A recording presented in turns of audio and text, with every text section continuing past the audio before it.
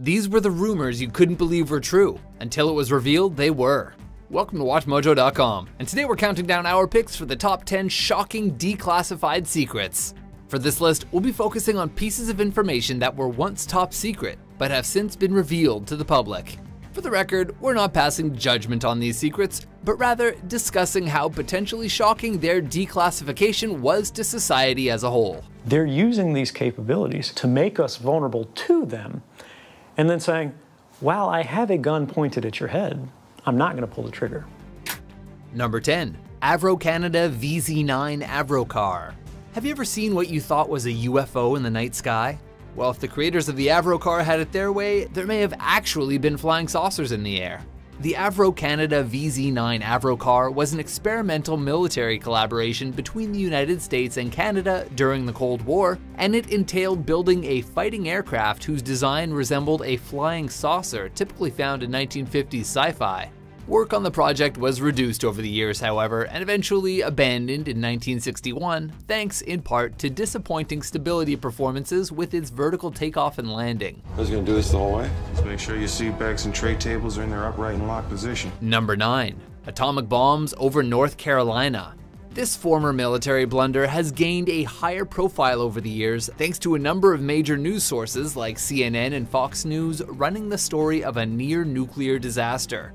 In what is now referred to as the 1961 Goldsboro B-52 crash, a bomber jet containing two finished nuclear bombs crashed over North Carolina on January 24th of that year, and actually dropped both bombs to the ground during the process. Although a parachute did deploy over one of the bombs, the other fell to the ground. Hey, what about Major Kong? Thankfully, safety pins had been removed from the first bomb, while impact from the crash only damaged the second, sparing the entire country from potential destruction. We'll meet again. Don't know where. Don't know where. Number 8. The Lost Children of Francoism. The dictatorial rule of Spain's Generalissimo Francisco Franco was one marred by multiple human rights violations, censorship, and violence. One other shocking secret behind his reign, however, was that some children born to parents who either opposed Franco's ideals or were otherwise seen as inferior to the general's racial views were stolen. An estimated 300,000 children were reportedly stolen by hospital staff, nuns, and priests over the course of 50 years, with some parents told that their babies had died shortly after birth. Accusations of human trafficking and illegal adoption were leveled at Franco's regime, as well as the Catholic Church, who were said to have sold these children to other parents across the country. Number 7. Dark Alliance. Did the CIA specifically know that you were selling cocaine to buy guns and supplies to support its cause? Objection! The term Dark Alliance refers to a series of investigative articles published by journalist Gary Webb in 1996 for the San Jose Mercury News.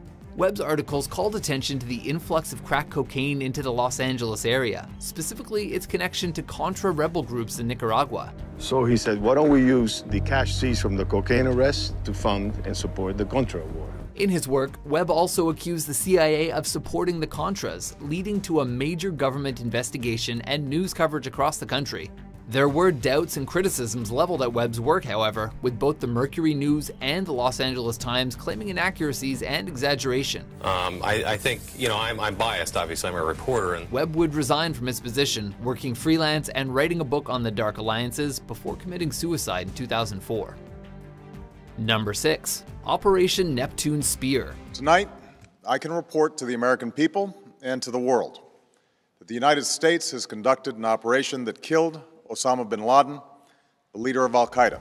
The US government had a name and face for their most wanted list in the aftermath of the September 11th terror attacks. That name and face belonged to Al Qaeda founder Osama bin Laden, and his death was the subject of a covert classified operation known as Operation Neptune Spear. In this operation, a group of airborne military, CIA operatives, and Navy SEALs tracked bin Laden to Pakistan, whereupon he was killed and his body buried at sea. Got a possible jackpot. Roger that. Possible jackpot. The controversy behind Neptune Spear is due largely to the lack of any physical or DNA evidence of this killing, as well as reports that bin Laden was unarmed at the time of his capture. These reports continue to fuel conspiracy theories to this day. After a firefight, they killed Osama bin Laden and took custody of his body.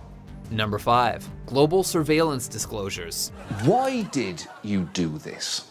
The NSA has the greatest surveillance capabilities uh, that we've ever seen in history. Now, what they will argue is that they don't uh, use this for nefarious purposes. Patriot or traitor? These are the opposing labels assigned to Edward Snowden, a former NSA contractor who rocked the world in 2013 when he released thousands of top secret documents and files from the United States, Canada, Australia, and the UK. These leaks drew international attention and scrutiny, with one of the main takeaways being the individual's right to privacy from the government. Snowden took temporary asylum in Russia from the charges of theft and espionage laid against him by the US in 2014. My country is something that travels with me, you know. Meanwhile, critics of his actions, like President Barack Obama, claim that Snowden's actions put the country and its citizens at risk to enemies, and that leaking these secrets did little to keep people safe. The way in which these disclosures happened have been uh, have been damaging to the United States uh, and damaging to our intelligence capabilities. Number four, Project MK Ultra. Can a government develop mind control techniques over their citizens? This was what the United States attempted to find out during the 1950s and 60s with a series of experiments known as Project MK Ultra. These programs experimented on subjects using psychedelic drugs, hypnosis, and chemical agents, reportedly to acquire some sort of mental control or dominance. Some historians have theorized that MK-Ultra was designed to create assassins who would be used for long-distance espionage, while others just chalk up the whole thing to an expensive study in LSD drug trips. MK-Ultra's use of unwilling or unwitting test subjects, however, led to the project's ultimate dissolution in 1973. As it turns out, he really was being given daily doses of LSD for 11 years. Number 3. Unit 731 there are war crimes, and then there was Unit 731. This Japanese research group committed unthinkable human atrocities during World War II, experimenting with physical, medical, and chemical torture on some 3,000 people, many of them Chinese prisoners. Furthermore, there's evidence found in Chinese and Japanese documents showing that the US traded immunity for data in the years following the war's end. This is particularly shocking given the brutality associated with the methods of Unit 731 which were said to have included live vivisection, germ warfare, and use of a gas chamber. The sheer magnitude of Unit 731 and the associated crimes has led some to call the era the Asian Holocaust. Number 2. Operation Northwoods. A quote from Alan Moore's V for Vendetta states that, quote, people shouldn't be afraid of their government, governments should be afraid of their people, unquote. People should not be afraid of their governments. Governments should be afraid of their people. But maybe it's the other way around. Operation Northwoods was a shocking plan during the 1960s for the United States to actively engage in homegrown terror attacks in order to incite public demand for a war in Cuba. The US was determined to oust the communist government of Fidel Castro from Cuba after the failed Bay of Pigs invasion in 1961, and was seemingly willing to do whatever it took to achieve these ends. President Kennedy rejected this proposal from his Joint Chiefs of Staff, however, and Operation Northwoods was thankfully never put into use. Before we unveil our topic, here are a few declassified honorable mentions. She was an undercover agent for the CIA, and when an investigation traced the leak of her name all the way to the White House, it became apparent this was no ordinary spy story. Operation Gladio. It was a NATO stay-behind mission set up to counter a possible Soviet invasion of Western Europe. But then it sort of turned into this whole weird crypto-fascist CIA shit show. God Wilson! God Wilson!